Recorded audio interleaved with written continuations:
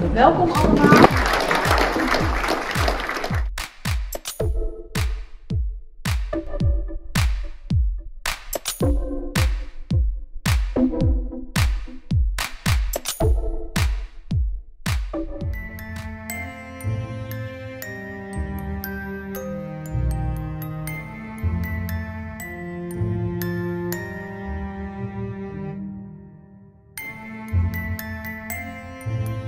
Hi there, welcome to my vlog. Today is the opening of my exhibition and I'm really looking forward to it.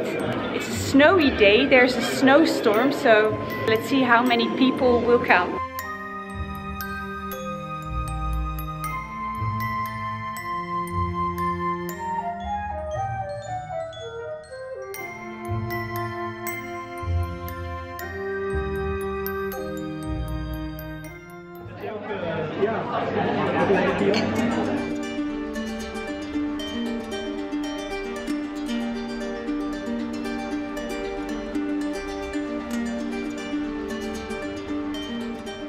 Welkom allemaal bij deze opening van deze nieuwe leuke tentoonstelling van Hannelore Houdijk. Splash, kunst onder water.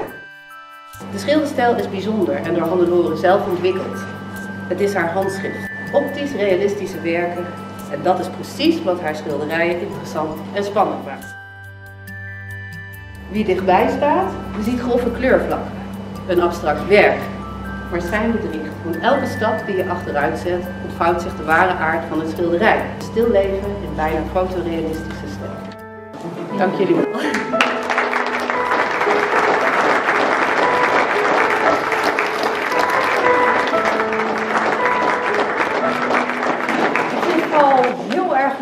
Allemaal gekomen zijn, ondanks de sneeuwstorm. Hartelijk dank. Ik wil vooral ook nog graag mensen bedanken, omdat er zit gewoon een hele organisatie achter. Vooral Elkenan voor het goede idee. Laura voor de hele organisatie. Vanja voor de mooie teksten en het onderzoek. Nu hangt hier alles bij elkaar.